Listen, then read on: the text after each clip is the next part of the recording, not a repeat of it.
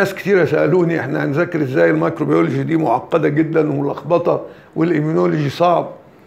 مفيش حاجة صعبة. آه عشان تذاكروا أنا أقول لكم الطريقة اللي أنا كنت بذاكر فيها وأنا طالب زيكم واقول لكم دلوقتي إيه المستجدات. عشان تبقى كويس قوي في ال immunology أو في ال microbiology كبكتيريا كفيروس ك fungus كل واحد لازم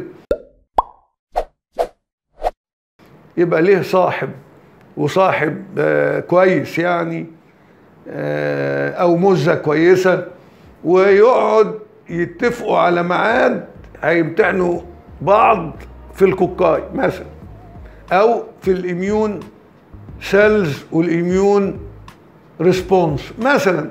وبعدين يجوا يتقابلوا مع بعض وكل واحد يسأل التاني يسأل التاني زي ما كنا بنعمل. هتبص تلاقي المعلومة مسكت في دماغ